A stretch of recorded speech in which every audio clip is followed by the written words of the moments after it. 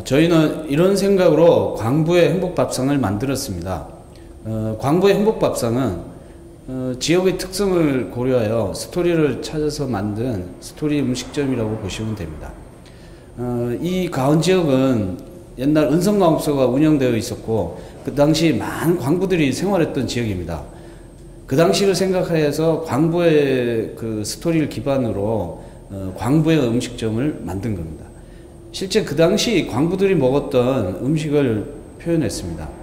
어, 광부가 하루 일과를 마치고 어, 동료들과 함께 먹었던 행복한 밥상의 마음을 그대로 전달하고 싶은 마음에 어, 음식점을 만들었습니다.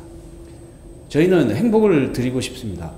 어, 광부들의 손에 캐어진 어, 검정 석탄이 생명을 품고 빨간 불로 변하여 어, 인간에게 따뜻한 행복을 줬듯이 저희도 광부의 마음으로 따뜻한 행복을 전해드리고 싶은 것이 저희 음식점의 마음입니다.